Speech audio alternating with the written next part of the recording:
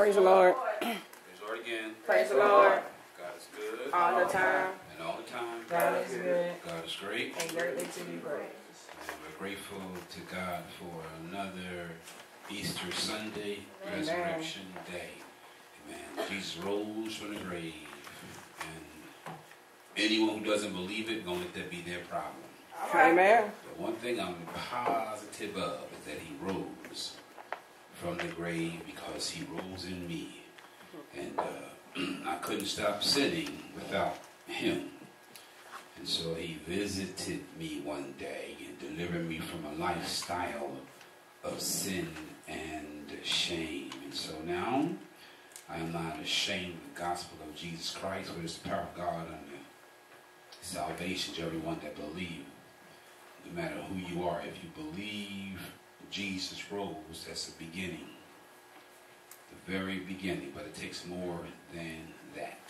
But we're grateful today, amen. We celebrate Easter, amen. And folks got pretty today. They went and spent money and bought some new clothes. Nothing wrong with buying some new clothes. Nothing wrong with looking good for Jesus. Nothing wrong with going on Sunday in your new, your new outfit, but your soul got to get right. So we don't criticize because somebody bought some clothes. it's okay. We want to look good. We should look good every every Sunday. Though we want to come to God's house looking our best. Every time we come, we want to come representing the best that God has to offer.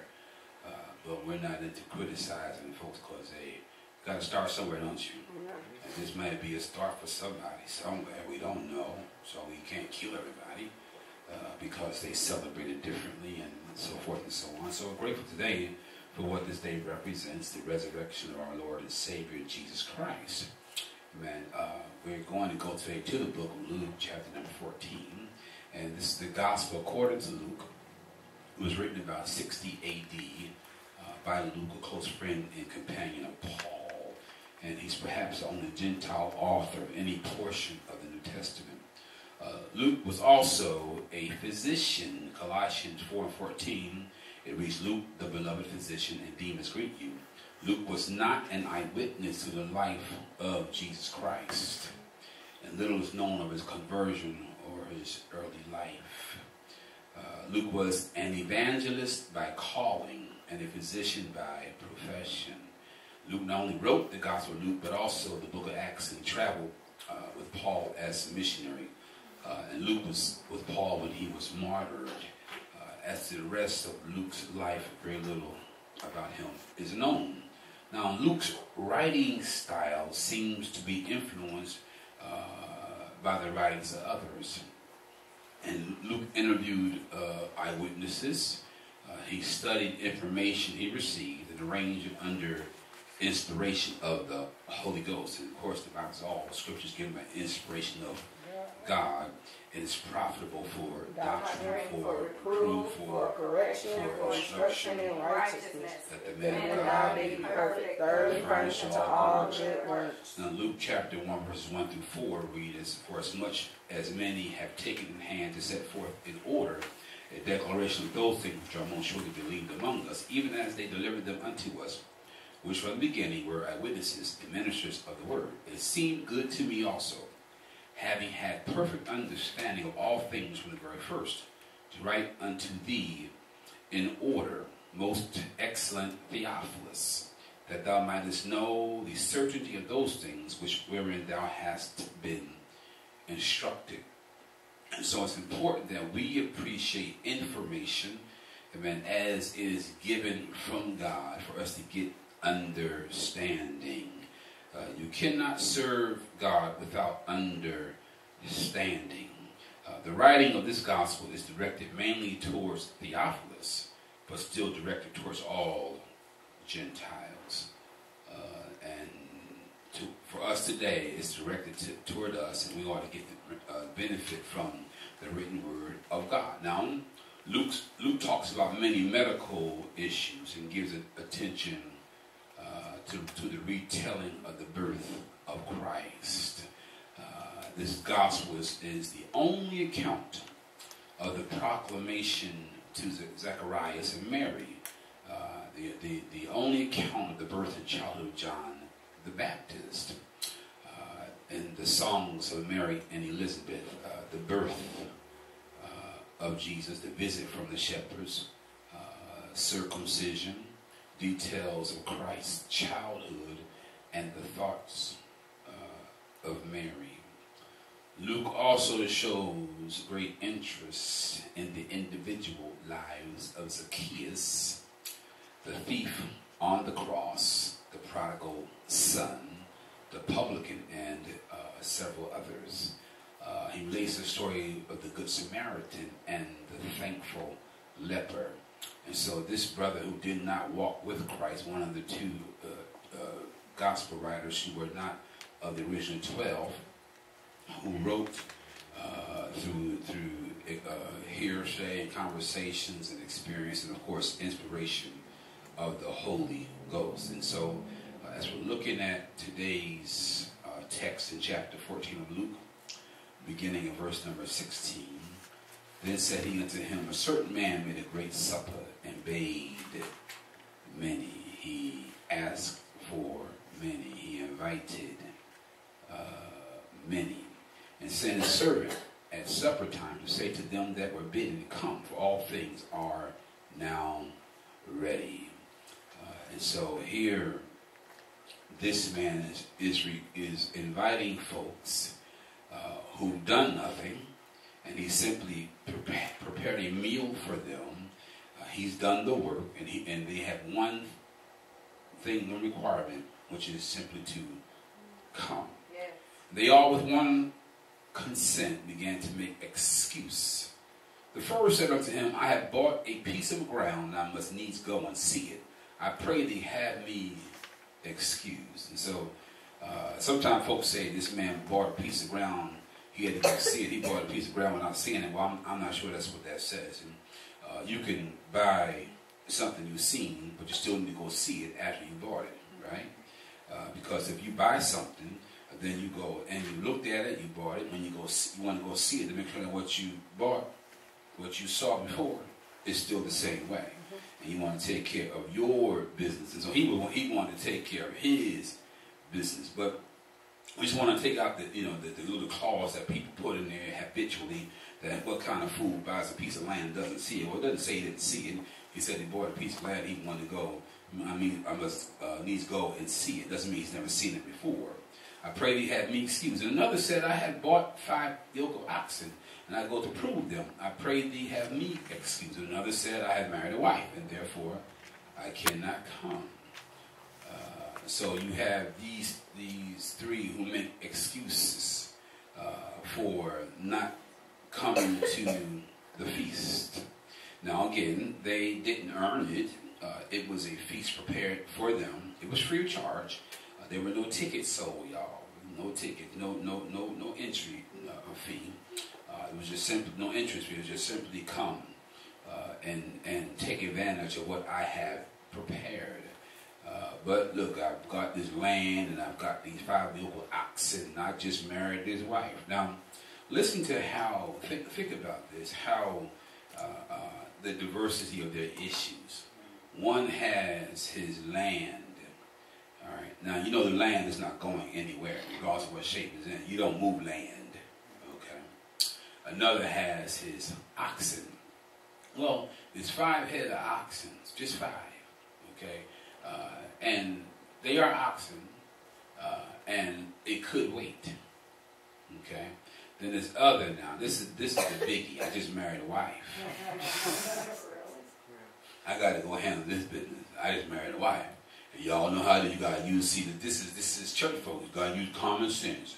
God wants you to spend time with your wife. Well, if you read the Bible, uh, when the encounter that Jesus had with the young rich man, and uh, mm-hmm. and Jesus told him so, he had him give the poor, and the Bible says the young man went away sad. He found it a hard saying. Right. Now he said the disciples contemplated that thing, and, and Peter asked, "Well, who can be saved?"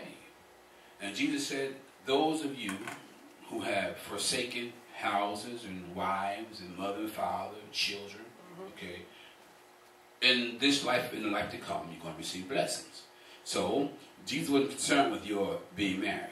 Uh, folks blame God's work for breaking up their marriages. No, God's work doesn't break your marriage up. Your work breaks your marriage All up. right. That's right. There's no way in the world I'm gonna work for God and my family be destroyed. There's no way. That's right. When I work for myself, then it destroys right. my family. Amen. That's See, right. too often we're trying to tell them we're pastors, but we're not doing God's will. We're pastoring of our own flesh. When you obey the voice of God, there is, first of all, you have to learn the, the nature of God. You have to learn his attributes. And God wouldn't dare allow you to do his work to rip your family up. He just wouldn't do it. That means that you've gotten out of the will of God. Because when you walk in God's order, God doesn't destroy your life. Y'all hear me? Yeah. So people mischaracterize God. Well, you got to take care of your family. After all, you know, God wants you to have common sense. I, Lord, I don't want those folks common sense. What I want to do is work for the Lord. And if anybody in my family doesn't like that, then they can leave. They can leave. That's fine with me. But I'm not going to stop working for God because somebody in my family is disgruntled with my. I didn't say working for the church. I said working for God. I didn't say go, doing fools is in church. I'm talking about working for the Lord. When we get busy doing God's work, God honors what we do. That's right. Amen.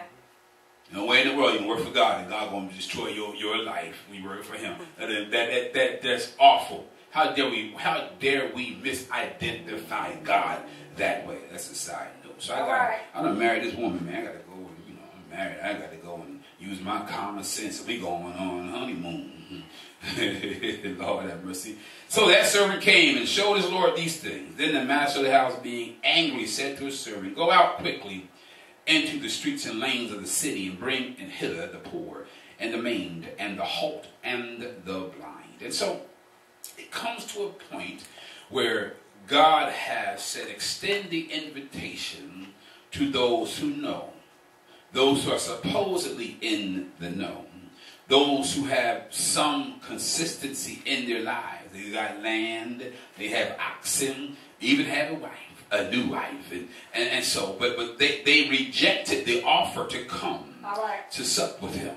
Uh, and, and so he, he tells, now you go out and you get all those folks with issues. Lord, I thank you. Mm-hmm. There's something about people with their issues. They bring a whole nother level of challenge, but a whole nother level of glory in the work. Come and on. so you go out. So that, that servant came and, and, and showed his Lord these things. Then the master of the house, being angry, said to his servant, Go out quickly into, that, into the streets and lanes of the city and bring in hither the poor and the maimed and the halt and the blind. The poor, the maimed, the halt and the blind. Yeah. These are people who are in need, who are in trouble. Yeah. These are people who want to be delivered, who want assistance, who- who want their situation to improve. Go get them. See, too often in today's church, we have too many things and we're too full and we're too busy and we're too preoccupied with our own agendas. Well, I've got this to do and that to do. And, and, and there is this, this there is this curse of common sense in the church and taking care of your business first and all those kinds of things, first natural and spiritual, and, and, and, and not rightly dividing the word of God and mischaracterizing who and what God is. And, and there is no way that you can blame all your mess on God, uh, and you cannot say God blessed you, then put the things that God that you say God blessed you with ahead of God. When God's work has to be done, you put nothing or no one ahead of the work of God. And so those don't want to come. They have see sometimes, sometimes folks just have too much. They just got too many things. They got fine cars, and and I got to clean my car. It's only I have off is Sunday, and I got to take care of my business. So they, they might come to church and look at the clock the entire time, they got to go and handle their business. I ain't had time all week to clean my house. I got to go and take care of my house, and we've got too many things going on uh, uh, in our lives. But, but there's somebody who doesn't have anything. Somebody who is in trouble. Somebody who is desperate. Somebody who is despondent. Somebody has nobody else for them. And so when they receive the invitation to come and to dine with the Lord, then they see it differently. Hmm? See, because too many distractions will mess you up. Yes, hmm, will. And too much stuff hmm, causes too many distractions. And sometimes we get bogged down in church work and we miss Christ. Yeah, we, we want to build pastors. We want to build the church, but we forget about doing the work of Christ. And we want to make sure that we get the bodies in the house and, and hook the building up and all that so people can come in and gawk and say, oh boy, you sure are doing a great work. As opposed to being committed to the saving of souls. Doesn't matter the material things. What matters is the spiritual things. But I know what the Bible says. Jesus writes himself in Matthew 6 and 33, but seek ye first the kingdom of God and his righteousness, and all these things shall be added unto you. Now that's just not in your personal life. That is in the work that we do for Christ. We seek the kingdom of God and his righteousness. And so our job is to communicate the holiness of God to the world. Our job is to make sure that the dying know that Jesus brings life. Our job is to communicate that though, to those who are blind that Jesus restores sight. Yes. Those who are deaf that Jesus unclogs yes. deaf ears. Yes. Whatever your situation or condition is, Jesus is the answer for any uh, uh, ill in your life. So that servant came and showed his Lord these things. And then the master of the house, being angry, said to his servant, Go out quickly into the streets and lanes of the city and bring hither the poor and the maimed and the halt and the blind. And so I believe that there, a, there comes a point where God becomes impatient with those who He's been calling and calling. He's been blessing them. They have things, and you have no reason to not serve God other than you put your stuff ahead of God. I've got this new wife, man. I ain't got time for that. I got to go handle my business. After all, I got good common sense, and I'm gonna keep my family, keep my wife happy by taking care of her. When you put your wife ahead of God, then you made your wife your God. God. Lord have mercy. Amen. When you put your children ahead of God, you made your children your God. God. Yeah? And so we become too caught up in ourselves, in our own personal lives, and we love ourselves far too much. It's all about me. And that servant said, Lord, it is done as thou hast commanded, and yet there is room. Listen, when God makes the call, not everybody's going to respond. But those uh, who are on the what we call the low end, you know, the the, the, the bottom crawlers, mm-hmm, they come, and but there's still room. There's always more room yes, at God's altar, and so there's more room. And the Lord said unto the servant, "Go out into the highways and hedges, and compel them to come in, that my house may be filled. Now, at some point, we've got to take hold to this thing. For I say unto you that none of these of those which were bidden shall taste of my supper. You got to know. Listen, I, I, I invited them to come, and they did not want to come. And so you rejected God. Well, guess what? He will reject you. Amen. But we have to hear the voice of God saying, Go into the hedges and the highways and compel them to come. Well, he's an alcoholic. Well, compel him to come. No, no, he never said clean them up. He didn't say tell them to stop their mess. He didn't say he's told he told them to come. He didn't say he'll take these clothes and put them on them and give them a bath. He said compel them to come. Yes. Go. Doesn't matter their condition. Compel them to come. Now, if we go back up to verse number 21, so that the servant came and showed his Lord these things, and the master, how being angry, said to the servant, Go out quickly into the streets and lanes of the city and bring hither the poor and the maimed and the halt and the blind. And so go, go right to where all the people are, uh, the masses, um, and, and, and, and, and invite them in. But there are some folks on the fringes, and, and, and there are some folks who are living other lifestyles. And, and you know, there are lifestyles that we don't approve of because they're sinful, but we can't reject them and not share the good news That's with right, them. Right. And so we can't look at right. anybody's sin and decide that we are God and, and deem them unhelpable. We have to reach out to everybody because we are called to do this, to go into the hedges and into the highways and compel them to come in that my house may be filled. For I say unto you that none of the of those men which were bidden shall taste of my supper. And there went great multitudes with him. And he turned and said unto them, If any man come to me and, and hate not his father and mother and wife and children right. and brethren and sisters, yea, and his own self also, he cannot be my disciple. And so let me use this thought today on this Easter Sunday 2014. Yeah. You must hate to love. You must hate to right love. now. Yeah, too many of us have not learned how to hate. And we're so caught up in loving until we forget the art, if you will, of hating. Now, it is our preoccupation with loving ourselves and choosing to please ourselves and others rather than pleasing God that has many of us in constant turmoil. So many folks, their minds are always troubled because they've not chosen to please God. Um, Listen, it is the advent of Christ's resurrection and his ascending to heaven uh, that has made it possible for man to live in peace while walking in this earth.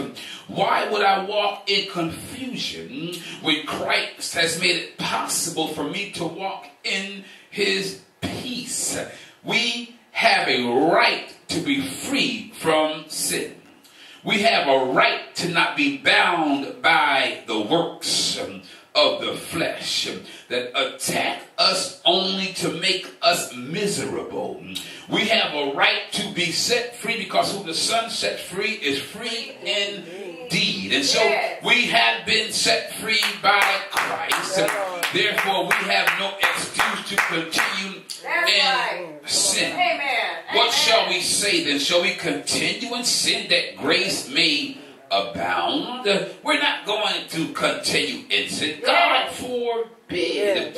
How shall we that are dead to sin live any longer therein? And so we've got to learn how to hate.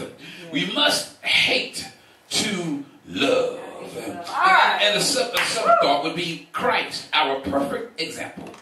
Yeah. Now, now, now, there, there, there are some things in our lives that we must learn to hate. Uh, w- w- it, it begins with a good, clear understanding of the Word of God. And the reason people cannot achieve the level of hate uh, uh, that, that leads to love is because they've not learned the Word of God. Being taught to fear God because of who He is is what helps us to live according to the Word Yes. of God. Yes. Listen, Solomon writes in Proverbs 1 7. He says, The fear of the Lord is the beginning of knowledge, but fools despise wisdom and the instruction. And so we have become such an impatient people until we're not even willing to sit down and listen to a preached message sent from God through the man of God. Because we do not want wisdom, we do not want instruction, and so we behave as fools. And, and, and the most dangerous thing is to have determined that you know everything. Well, I don't need to hear that because I know that already. Well, if you know so much, then why is your life so jacked up? It's amazing how people say they know the Word of God, but they're always struggling with sinful Always. lifestyles. If you know the Word of God and you've not been made free, then let me suggest this. You don't know the Word All right. of God. All right, The yeah. fear of the Lord is the beginning of knowledge. But fools despise wisdom and instruction. When we learn how to sit at the feet of God, when God shares his good news with us through his through the mouth of his of his vessel, when he shares that good news, the wise one sits and takes everything in. It is the wise one who takes notes and, and, and physical notes and mental notes. It is the wise one who becomes preoccupied with knowing what thus saith the Lord. I will not let you speak and I not eat because I'm trying to grow in grace and in the knowledge of my Lord and Savior Jesus Christ. The fear of the Lord is the beginning of knowledge. We've got to begin somewhere, but if you've not learned to fear the Lord, then you have not begun the road to knowledge. But fools despise wisdom and instruction. I don't need anybody to tell me what to do. I hear from God. But the Bible says you cannot hear without a preacher, and he can't preach except he be sent. And so we find ourselves uh, uh, uh, able to live holy because we've been taught to fear the Lord and not solely for punishment's sake if we do wrong. But there's great blessing in fearing God. There's something about being committed to God and His righteousness. And let me say this now. If you are not committed to righteousness, then you are not committed to God. Because God is our righteousness. And my commitment to God is reflected through my pursuit of righteous living. Now, in fearing God, we become more interested in pleasing Him for the sake, the simple sake of doing right. And as my daddy used to always say, it's just right to do right. right. At some point, you got to fall in love with righteousness and doing right. right. And you got to learn to hate unrighteousness and doing wrong. And so when you don't learn how to hate sin, you'll never fall in love with righteousness. It is the sin in me that I've got to come to hate. if I've not come to detest the sin in me, there is no way I can be committed to God. I've got to leave sin alone. If I don't leave sin alone. There is no way that I can be a child of God because I cannot serve two masters. And, so there is no lukewarm walk in Christ. Right, Either you're hot or you're cold. That's That's but it. Revelation, if you're lukewarm, he'll spew you out of his mouth. We've got too many lukewarm relationships with Christ. People who try to make living holy optional. Well, it's not necessary to do all of that. And and so they've not learned to hate the, the sin that's in them. They've not learned to hate the sin that exists in the world. Now, in fearing God, we become a more, more interested in pleasing Him for the sake of doing right. And fortunately, God has given us a way out of sin and eternal damnation. Well, I don't want to do wrong, but guess what? God already made a way out of you out of your doing wrong. You don't have to practice sin because Christ has made the path clear for all of us to flee the constraints of sin. But when you've not come to hate being in sin, there's no way you can leave sin. You have to become hateful of the sin that you commit. I'm tired of cussing. ain't cussing no more. I hate cussing. I hate smoking. I hate drinking. I hate doing drugs. I hate uh, doing all what fornication. I hate adultery. I hate these things. Yes. You can't stop sinning if you don't come to hate sinning. As long as you don't hate it, you're going to do it. But when you learn to hate sin, then you'll stop practicing sin, and the Holy Ghost will come and abide on the inside and keep you free from living sinful lifestyle. Now, I'd like to get, begin with, with, with first by, by, by, by, identifying some behaviors, some actions, uh, some habits uh, uh, that are detrimental to the spiritual health uh, of man. And, and in the book of Galatians, chapter number 5, verses 19 through 21, the Bible reads, Now the works of the flesh are manifest, which are these adultery, fornication, uncleanness, lasciviousness, idolatry, witchcraft, hatred, variance, emulations, wrath, strife, seditions, heresies, envyings, murders, drunkenness, revelings, whew, and such like. Well, you didn't hit me, preacher, uh-huh. And such like. Of the which I tell you before, as I've also told you in time past that they which do such things shall not inherit the kingdom of God. Now, there are 17 nouns used to describe the works of the flesh. And, and, and, nine that are used to identify the fruits of the Spirit love, joy, peace, long suffering, gentleness, goodness, faith, meekness, temperance. And, but, but all of the works of the flesh fall under three categories. Um, and, and, in the first epistle of John, chapter number 2, verses 15, 16, and 17, love not the world, neither the things that are in the world. If any man love the world, love the Father is not in him. For all that is in the world, the lust of the flesh and the lust of the eyes and the pride of life is not of the Father, but is of the world. And the world passeth away and the lust thereof. But he that doeth the will of God abideth for. And so the lust of the flesh, the lust of the eyes, and the pride of life. Well, our problem is that we are too guilty of lust. You got to hate. You got to hate to love. And so you got to hate lust. Uh, lust is very strong craving or desire. No, no, no. When you look at lust of the flesh, cravings that are satisfied through physical contact, lust of the of the eyes, cravings that are satisfied through visual stimuli and pleasures. Yeah, yeah. Lord, I want to touch it. I want to look at it. I want to taste uh-huh. it. All of those things, um, lust of the flesh and the lust of the eyes, and, and these these are sins um, against the flesh. And we have adultery, the act of breaking the marriage vow. Mm-hmm of sexual fidelity. Uh, and, and, and, it's a matter of who you commit this act with. When you say that you are married, Lord have mercy. Uh, a fornication, engaging in sexual relations uh, by one who is unmarried.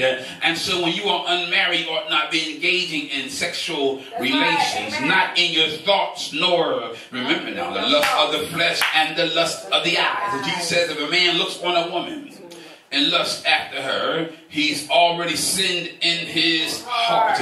Uncleanness, you are dirty, you're filthy, you're soiled, you're impure, you're unchaste. Too many, too many dirty folks in the church saying they're of God. You cannot be unclean and be of God. And, and so these are sins against your flesh. And, and, and the way to be delivered from these things is to first learn to hate them. I hate adultery. I hate fornication. I hate uncleanness. I hate lasciviousness, uh, lewd sexual behavior. I hate being lustful. I hate these things.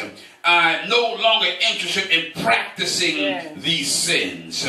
You must hate to love. Yeah, we're going to get to love, but you got to hate first. I, I, I, I hate the life uh, that I'm living because it's not pleasing to God. Uh, sins against the flesh, sins against the spirit, uh, idolatry, worship of idols, uh, sin against the spirit, uh, witchcraft, dealing with evil powers, sorcery, sins against the spirit pride of excessively high opinion of one's own ability or one's own importance.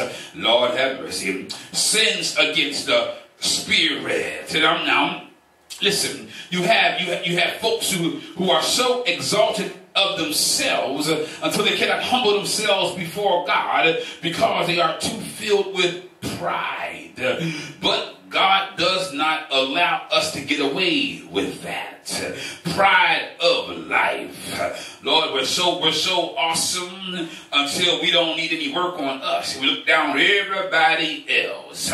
Hatred, extreme or intense dislike like mm-hmm, pride of life. You get you, you become so angry, so hateful, uh, uh, violent against people until you could care less about how they feel, what they think. You know, people say stuff like this. I don't care what anybody says. I just say what's on my mind. Well, that's a hateful person. When you open your mouth and you just want to hurt people, you are a hateful spirit. Mm-hmm. That's what you are. Pride of life. L- listen, variance, uh, variance, disagreement. Variance is difference. Uh, uh, this, this is another uh, uh, sign the pride of life. All you want to do is have it your way, and you can't agree with anything anyone else says or does. Emulations striving to be better than others. All you try to do is, I'm going to have the nicest car, nice house, nicest dress, nicest suit, nicest this, nicest that. Wrath.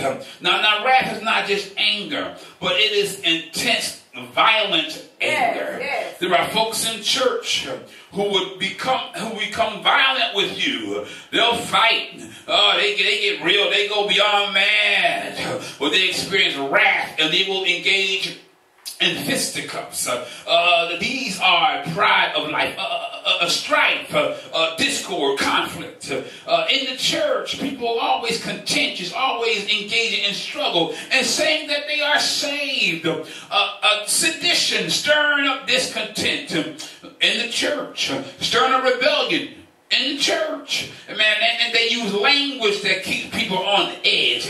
They want to draw, they want to cause division between the pastor and the deacon, the, between the members of the deacon board and, and ministerial staff, and, and everybody's. They just want it to be chaos in the midst of the people. Heresies, believe contrary to accepted doctrine. There are so many uh, heretics in the church today. Folks have changed the doctrine. We've got to learn to hate these things, envyings, not just jealousy, but resentful jealousy. These things are intense. We've got to learn to hate them to, to the point where they are not found in us.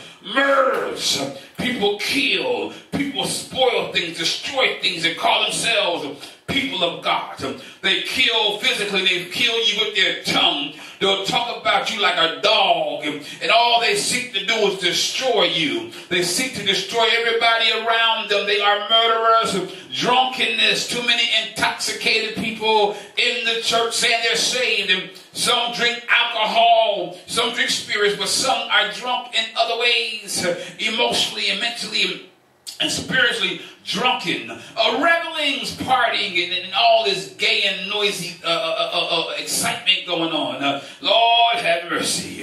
That's why we don't go any and everywhere. No, we don't go to the boom boom because we don't engage in revelings. All this mess in the church today partying in church. We don't party in the church. We are worshipers. We are not partiers. We are praisers. We are not partiers. And so we've got to learn how to hate the works of the flesh, Um, the lust of the flesh, um, the lust of the eyes, and the pride of life. Um, we must learn how to hate these things, but there are some more things inside of us uh, that we've got to learn how to hate in order for us to achieve love. Lord have mercy. Hmm, some of us love just being depressed and we're not happy if we are not depressed. I'm not happy if I have nothing to complain about. Some people live their lives and they get excited about the fact that nobody likes them. At least they don't think anyone does. And oh, nobody cares about me. Just depression. Well, you gotta learn to hate the depression that's in you. Uh, so many folks deal with confusion uh, in their own lives, uh, in their minds. You've got to hate confusion in your life. Drama. You got to hate drama in your life. If you hang around folks, all they do is bring confusion and drama. You got to leave them alone. You got to hate the very existence of these things in your life bad relationships. Well, I'm in love. No, you're an idiot. There's no way in the world you can be in love with somebody. All they do is keep you in an uproar, in a tizzy. Every time you whip them, you are miserable and talk about you love them.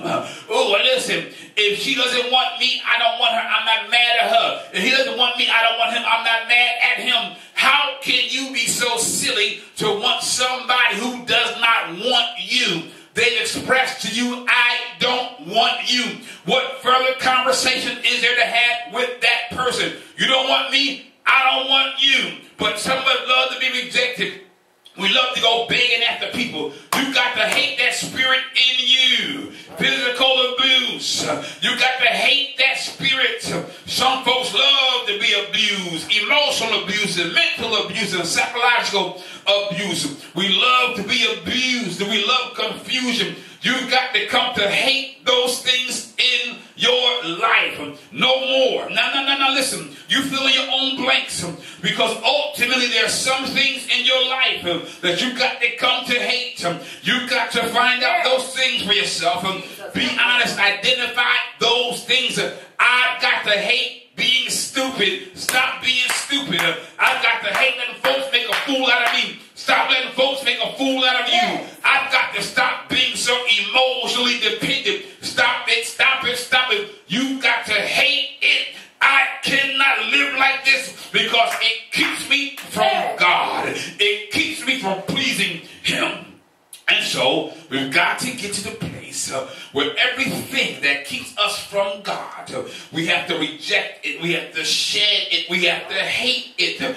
I will not live my life like that because I'm trying to make it to Jesus, and you, my friend, are in the way. Because when I want to go to church, you want to go get high. You are in the way. Why am I engaging you in conversation when all you want to do is sin? But I'm trying to get to Jesus. You got to come to hate people. You have to hate sin. You have, and when it's found in them, you have to hate them. I'm not fooling with you. I'm leaving you alone. Don't call me anymore.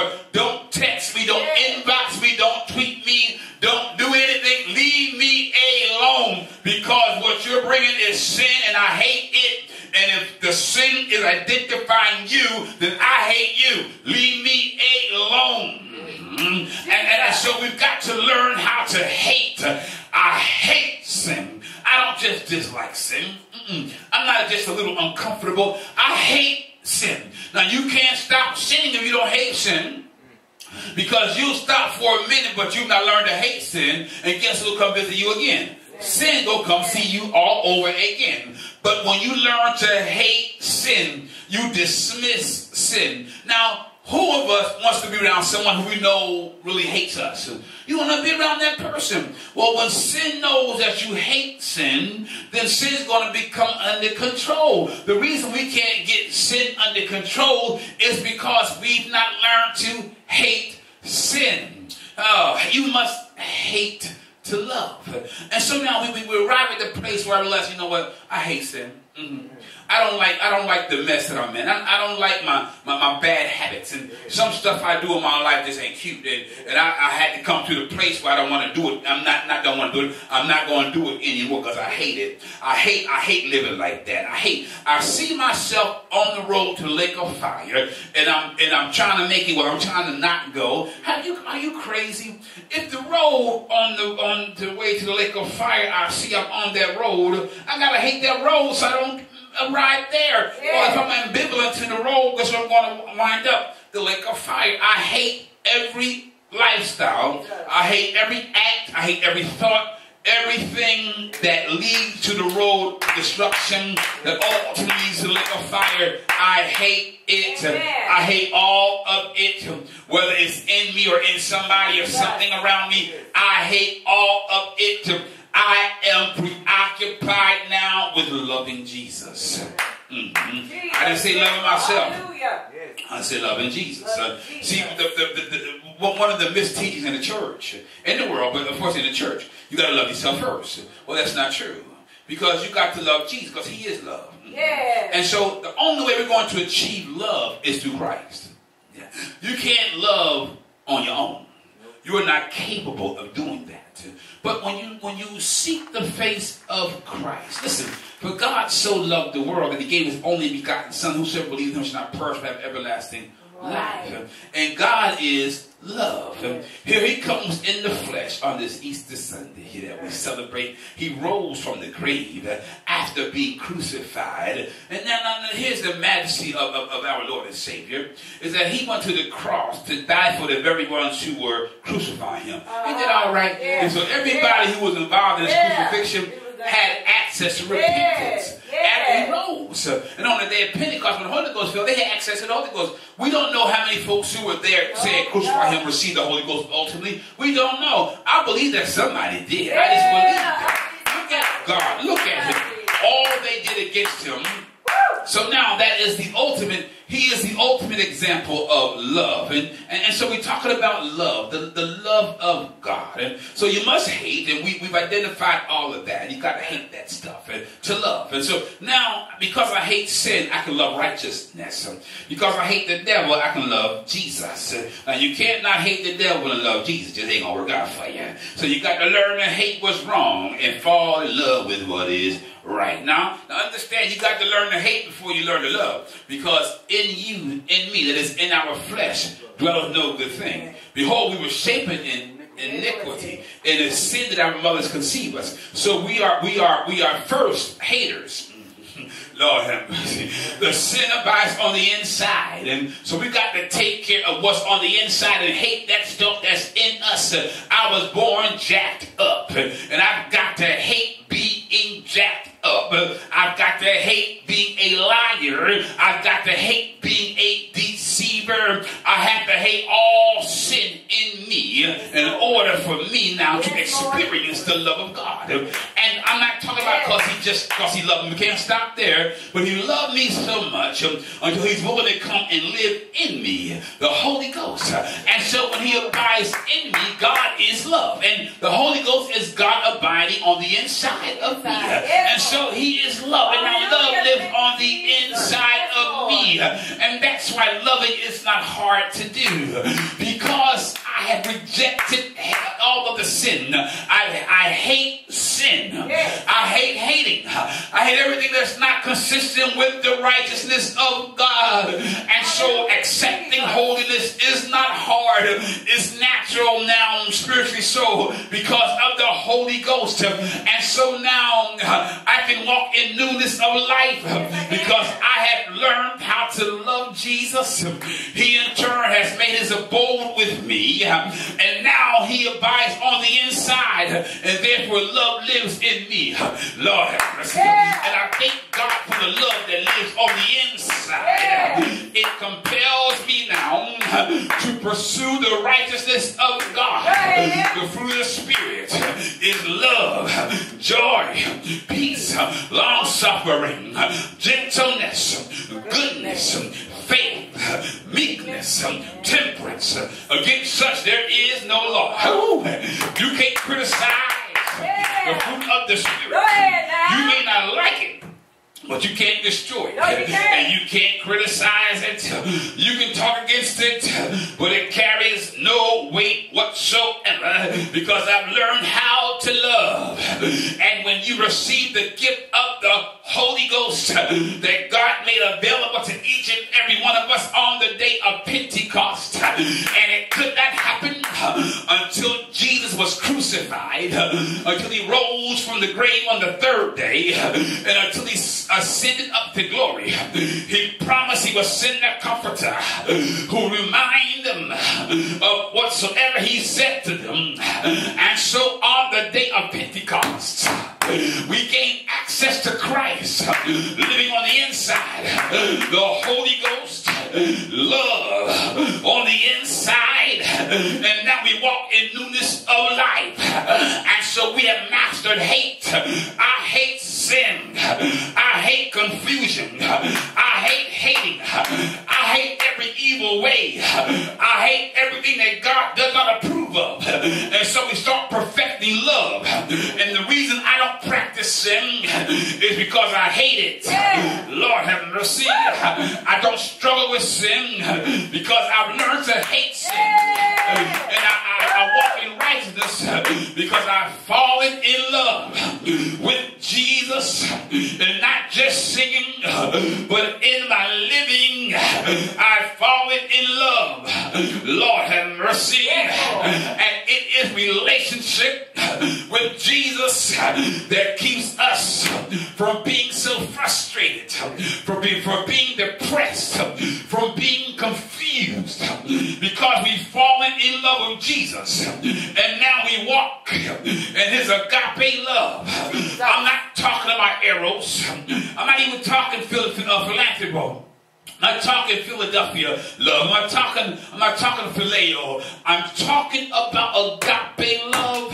It is the love of God. It, it is a love that we just can't help. I, can't help but love you in spite of you being mean to me. Now, I just I gotta fool with you, but I, I can't help but not love you, but love you anyway. See, see, because love is on the inside, and hate is not an option because the Holy Ghost abides on the inside.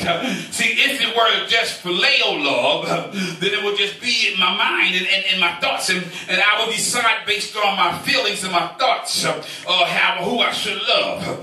But when it arises to the level of agape love, then I know you talked about me like a dog, but I can't talk back like that. I know you mistreated me, but I cannot mistreat you. I know you, you, you wounded me, but now you're hungry and I've got to feed you. I know you scandalized my name, but you're naked and I've got to clothe you. I'm talking about that love. The love that you just can't help because of the Holy Ghost. Lord have mercy. And we master the love of God and we master hating sin, then the world can see Christ in and through us. And now we are the example that He's calling for in these last and evil days. Listen, John writes in John 13 and 33, 34, 35. A new commandment I give unto you, that ye love one another as I have loved you, that ye also love one another. Um, by this shall all men know that you are my disciples if you if you have loved one to another. Well, well, well, well look how they, they, they, they want to hang together all the time. Yeah, it's a love thing. Yeah. My inheritance is amongst those that are sanctified. Yeah. By this shall all men know that ye are my disciples. They shall love one another. Baby, you got that right. We love one another because we are compelled through the Holy Ghost abiding on the inside to demonstrate love to one another. The Bible says, do good to all men, but especially to those are the household of faith, those who are of God. We are commanded to take care of the brethren, love everybody, but especially the people of God. By this, they're going to know that we are His disciples because we demonstrate love for one another. And we cannot have anything in the way of love. Thou shalt have no other gods before God. And God is love. That means that you can't have anything before love. Hate cannot be present at all. Not even a little bit. Because a little leaven living the whole lump. We've got to shed the ways of sin. We've got to love God first. You got to fall in love with righteousness. Your wife can't be in the way of you loving God.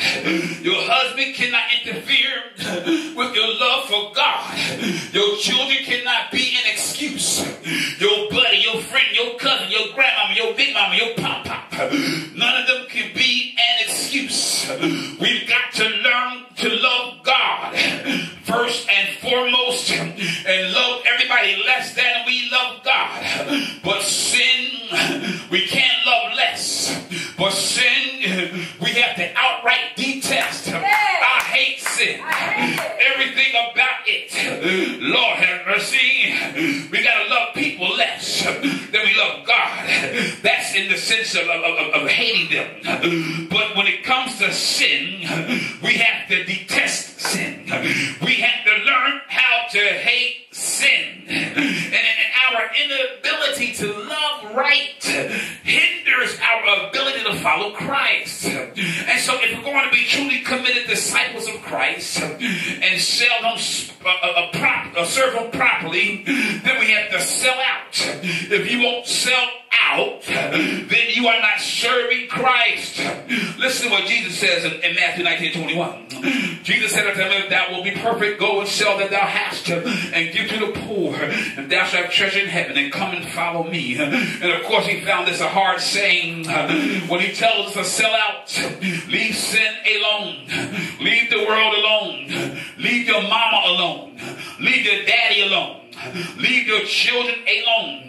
Leave their job alone. Anything or anyone that gets in the way of your relationship with Christ, you've got to hate it, leave it alone. all but not us because we are in love with ourselves. We are in love with folks, but we're not in love with Jesus. And if you don't love him, then you hate him. Yes. You cannot be indifferent. Either you're going to love him or you're going to hate him. Either you're going to do what he says or you're not. If you do what he says, then you demonstrate that you love him. If you disobey him, you demonstrated that you hate him. And guess what? If you hate Jesus, then you are in love with sin. Mm. Because hate is of the devil. But when you hate the devil, then that's the proper order of things.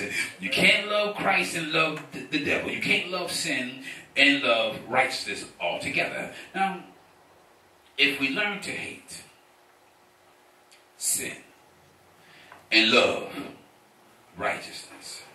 And we use Christ as our perfect example. And we see that all that he endured in this world, he came to die for a people who had proven rebellious, who had proven to be hard headed, who rejected him, who were just terrible people. But he came. But God so loved the world that he gave his only begotten Son. Whosoever believe in him shall not perish, but have everlasting life. For God sent not his Son into the world to condemn the world, but that the world through him might be saved. Might be saved. And so as we seek God and we, we, we make our plea in, in, the, in the words of Paul in Romans chapter 7, verse 24, O wretched man that I am, who shall deliver me from the body of this death? Well, when we consider the written word of God, the deliverance that is found in the written word of God, God's word delivers us from ourselves. Romans 8:21, Paul writes, because the creature itself also shall be delivered from the bondage of corruption into the glorious liberty of the children of God. And so we don't have to remain on the path of corruption and destruction. Uh-huh. Because Christ gave himself for our sins, that he might deliver us from this present evil world according to the will of God and our Father in Galatians 1 and 4. And so we have no excuse whatsoever to not do what thus saith the Lord, except we don't hate sin and we don't love righteousness. So we allow ourselves to be deceived by the murderer. We know he's a murderer, and we still allow ourselves to be deceived by him. We are some kind of insane. You know he comes to steal, to kill, and to destroy. And you still struggle pulling away from him? Something wrong with you. And you only wait till they go fire. So you're crazy and you're going to burn. That's awful. Isn't it great that we take advantage of the opportunity to repent of our sins? Yes, yes, yes. Thank you, Jesus. Isn't that great? Thank you, Lord. To know that we don't have to live lifestyles of sin no, anymore. No. Thank you, Lord. That God gave us a way out of sin through receiving the gift of the Holy, the Holy Ghost. Thank you, Jesus.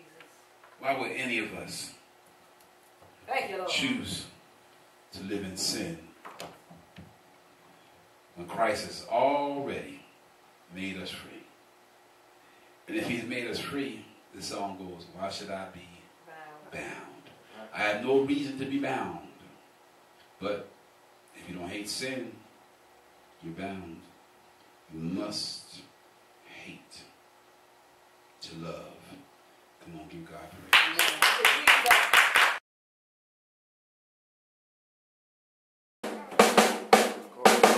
If it did